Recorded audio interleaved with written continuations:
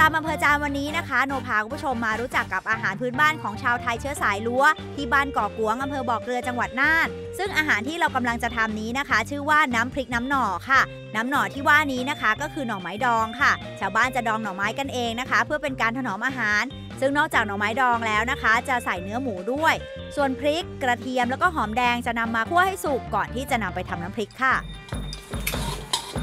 ถ้าเกิดว่าเป็นคนลัวสมัยก่อนเนี่ยค่ะ เขากินอาหารรสชาติแบบไหน คือเผ็ดไหมกินกินเผ็ดหไม่เผ็ดค่ะ รสชาติจืดๆนิดนึงค่ะอืมก็จะมีแค่พริก มีอ่าเกลือแค่นั้นค่ะอืมก็จะคล้ายๆกับชาติพันธุ์หลาย ๆ พื้นที่ที่อยู่บนบนเขาเนาะใช่ก็คือค่ะจะไม่ได้เน้นปรุงอะไรจัดจ้าน ใช่ค่ะ รสชาติอาหารส่วนใหญ่ก็จะมาจากพวกผักที่มีความสดอะไรแบบนี้เนาะใช่ค่ะใช่ไหมคะ จะมี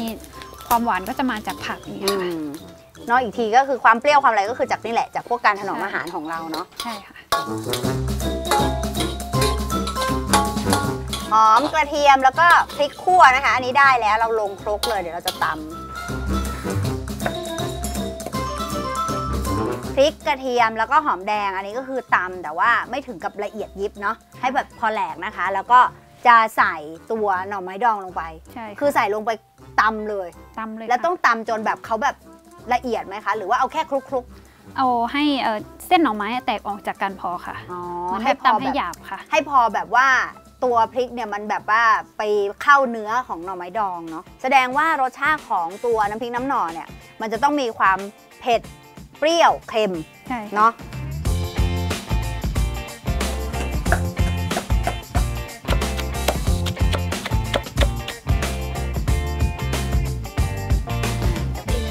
หมูแล้วก็หน่อไม้ดองนะคะ ที่เราตำรวมกับพริกที่เรานำไปคั่วนะคะมีพริกมีกระเทียมมีหอมตอนนี้โขลกเข้าร่วมกันหมดแล้วเนาะรวมกันเป็นเนื้อเดียวเลย แล้วก็จะนำลงไปผัดเนาะค่ะได้เลยจ้าอืมยิ่งกับเตาฟืนอย่างนี้มันจะมีความหอมของฟืนจะหอมใช่ไหม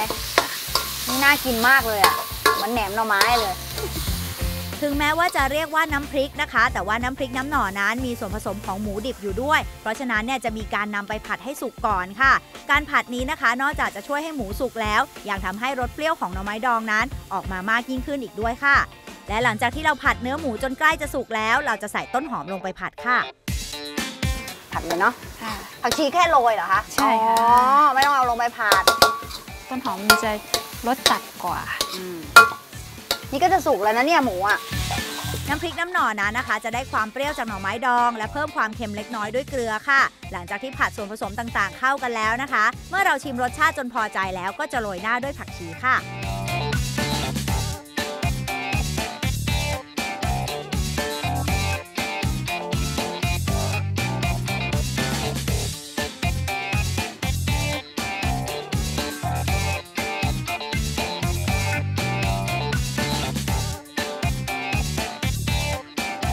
วนผักกาดคิวที่เราไปเก็บมานะคะ แม่จอนจะทำแกงผักกาดคิวใส่ไก่บ้านให้เราได้กินกัน จานนี้นะคะ ต้องบอกว่าเป็นอาหารล้วนที่หลาย ๆ บ้านนั้นชื่นชอบค่ะ ถ้าบ้านเราอะค่ะ แกงแบบเนี้ยเราจะเรียกภาษาลัวว่าอะไรแม่ภาษาลวดเขาเรียกว่าเกิกชิเอียชิบะโครเกอร์ชิเอียชิบักโครบักโครก็คือผักกาดคิวเนาะมาดูเครื่องนะคะ อันนี้เนี่ยจะเป็นเป็นการแกงกับไก่บ้าน นอกจากไก่บ้านแล้วเนี่ยก็จะมีพริกขี้หนู กระเทียมขมิ้น แล้วก็มีข่าด้วยค่ะ มีกะปิกับเกลือนะคะ ใส่เพื่อความหอมด้วยเนาะมีตะไคร้ด้วยใครด้วยค่ะอ่าตะไคร้ด้วย เพราะฉะนั้นอย่างตะไคร้นี่เราเราเรายังไงคะแม่หมายถึงว่าเราใส่เพื่อเป็นท่อนๆให้หอม หรือว่าต้องโขลกลงไปเลยโขลกลงไปก็ได้ค่ะโขลกลงไปเลยใช่ไหมคะมาเลยจ้าตำรอไปก่อน ใส่ขามาแล้วนะคะขมิ้น เครื่องเขาจะคล้ายๆกับพวกต้มไก่ต้มไก่บ้านไก่นอกหม้ออะไรแบบนี้นะคะ ที่เราเคยกินนะเพราะว่าจะมีนี่แหละมีตะไคร้มีอะไรแบบนี้นะเพื่อดับกลิ่นคาว บ้านเราก็จะใช้แบบนี้เพื่อดับกลิ่นคาวไก่เหมือนกันเนาะชุบตอนนี้ในครกนะคะก็จะมีข่ามีขมิ้นแล้วก็มีตะไคร้เดี๋ยวโขลกพวกนี้ก่อนเนาะกระเทียม แล้วก็ พริกขี้หนูค่ะ แค่นี้แหละค่ะ แค่นี้แหละค่ะ เดี๋ยว คือตัวเครื่องเนี่ยค่ะพอเราโขลกพริกกระเทียม ขมิ้นข่า แล้วก็ตะไคร้เข้ากันดีแล้วเนี่ย จะเติมเกลือกับกะปิลงไปหน่อยหนึง แล้วก็ตามลงไป ไก่นี่แม่เตรียมแล้ว เราจะเราจะใช้เป็นแบบไหนคะ คือจะต้มก่อนหรือว่าจะแบบมันเราคั่วก่อนค่ะคั่วก่อนเนาะค่ะคั่วกับเครื่องหนูใช่ไหมค่ะอะหนูแป๊บหนึ่ง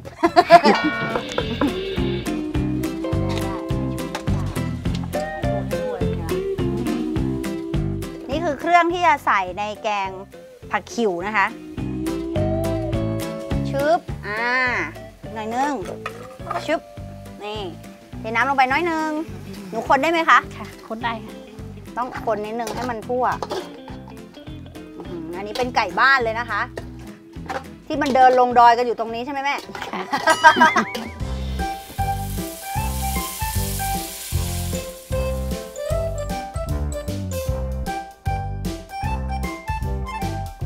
มาดูไก่ของเรานะคะ น้ำเดือดแล้วไก่ก็คือเปลี่ยนสีเลยเนาะคะพอค่ะสุกเนาะสีแบบเหลืองเลยไก่บ้าน อันนี้เราก็เติม เติมน้ำไหมแม่ เติมนิดนึงค่ะ เติมนิดนึงเนาะอ่าเติมน้ำ น้ำพอไหมคะแม่เติมพออีกไหมแล้วค่ะ แล้วเราใส่ผักอีกทีตอนไหนคะเนี่ย รอให้มันเดือดก่อนค่ะ ให้มันเดือดอีกรอบนึง แล้วเราชิมตอนไหนอะคะแม่จอตนอนผักสุกค่ะ อ๋อให้ผักสุกไปเลยแล้วค่อยชิมแล้วค่อยปรุงรสอีกทีค่ะว่าเอาเกลือเอากะปิอะไรเพิ่มหรือเปล่าเนาะ ค่ะ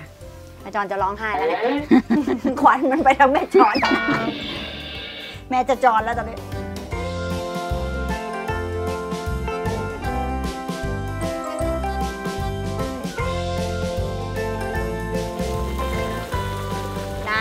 ส่ลงไปเมื่อกี้นะคะ เดือดแล้วแล้วก็นี่เป็นไงเสียงบิดผักอื้อหือกรอบมาก ได้ทั้งต้นเลยใช่ไหมจ๊ะแม่จอนค่ะอ่าได้ทั้งต้นเลย คือปกติเรากินสดแบบนี้นะคะ มันก็จะรสชาตินี่นะคะ เผ็ด เผ็ดวาซาบิเลยอะ เผ็ดแบบนั้นเลย อืมนี่แหละที่เรากินกับลาบ แต่วันนี้เราจะลองกินแบบต้ม น้องบอกว่ามันจะไม่เผ็ดเลยเหรอแม่ ความเผ็ดมันจะหายไปเลยเหรอ ถ้าเราต้มอะ ใช่ไหมคะค่ะอืมอ๋อเผ็ด แต่มันหอมเนาะหนูกดได้ไหมคะ กดได้ค่ะอื้อหือเสียงบิดผักนี่สุดยอด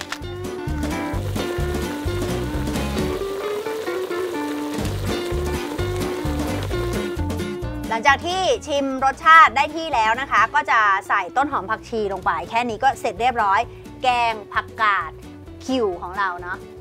หรือว่าผักบะเคราะบักโรบะเคร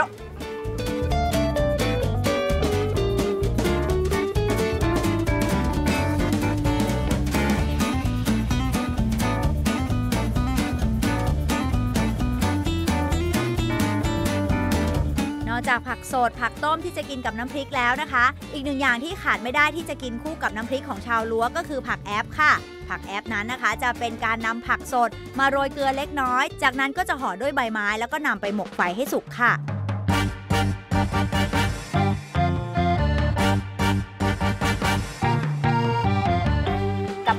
วของเราวันนี้นะคะต้องบอกว่าเน้นผักทุกจานเลยนะคะ ไม่ว่าจะเป็นคณะน้าเห็ดหอมที่เราต้ม เน้นแค่เกลือกับพริกนะคะ แกงผักกาดคิวนะคะ แล้วก็จะมีน้ำพริกน้ำหน่อก็คือหน่อไม้ดองนั่นเองนะคะ ผักเนี่ยมีทั้งผักสดผักต้มแล้วก็ผักแอป ใช่ค่ะ จะหอมมากเลยตอนแกะออกมา ใช่ค่ะ หอมใบตองแล้วเอาไปปิ้งกับใช่เตาไฟค่ะ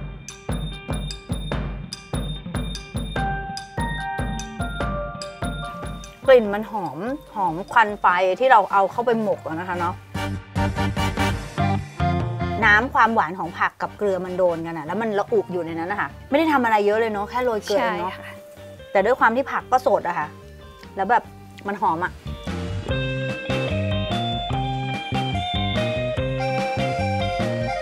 ตัวคะน้าเนี่ยค่ะ ตัวคะน้าเห็ดหอมที่เราต้มใส่พริกอะจะเป็นแค่แบบว่า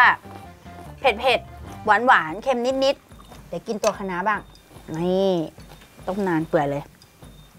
ปุ๊บอื้อหือหวาน นุ่มนอกกรอบในค่ะ อร่อยมากว้าเอาตัวนี้คือพอผักมันสดเนาะทำอะไรแบบทำง่าย ๆ ก็ยังอร่อยอะ่ะเราก็กินอืมน้ำน้ำหน่อตามลงไปอย่างกิเงี้นยน้ำหน่อตามลงไปใช่ไหม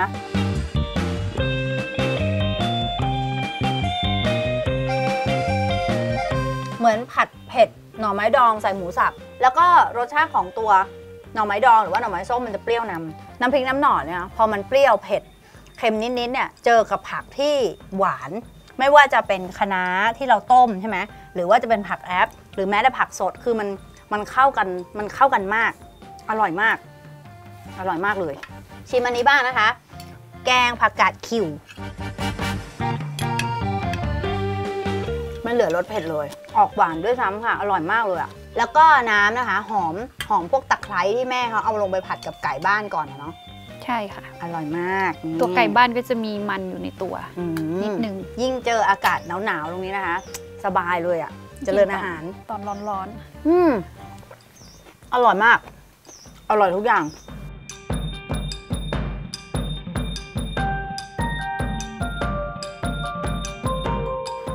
ของเราวันนี้นะคะต้องบอกว่าเป็นอาหารเพื่อสุขภาพเลย แล้วก็อันนี้ก็จะเป็นวิถีของบ้านเราก็จะนี่แหละกินง่าย ๆ เน้นผัก แต่ว่าเป็นผักที่ปลูกเองปลอดภัยนะคะ แล้วก็สดด้วยเนาะนะคะ วันนี้ต้องขอบคุณโซดาด้วยเนาะแล้วก็ขอบคุณฝากขอบคุณแม่ ๆ ด้วยๆค่ะผักสดมากกับข้าวคือทำง่ายแต่แบบอร่อยมากๆเนาะขอบคุณมากๆนะจ๊ะค่ะ คุณผู้ชมที่ดูแล้วนะคะ อยากจะชวนตามอำเพอจาของเรานะคะ ไปทำอาหารอร่อยอร่อยแบบนี้ อยากโชว์บรรยากาศหมู่บ้านที่วิวสวยๆแบบนี้นะคะ ติดต่อทักทายเข้ามาได้ที่ Facebook ของตามอำเภอจานะคะ รวมถึงแนะนำติชมรายการด้วยนะคะ วันนี้ตามอำเภอจาของเราหมดเวลาลงแล้วค่ะคุณผู้ชมสามารถชมรายการย้อนหลังทุกตอนได้นะคะ ผ่านทาง 34 HD Application แล้วก็ทุกตอนผ่านทาง YouTube ด้วยค่ะ วันนี้ตามอำเภอจานหมดเวลาลงแล้วค่ะ พบกันใหม่ทุกวันเสาร์เที่ยงตรงทางอมรินทีวี HD ช่อง 34 วันนี้สวัสดีค่ะค่ะ ขอบคุณมาก ๆ นะจ๊ะ ขอบคุณค่ะ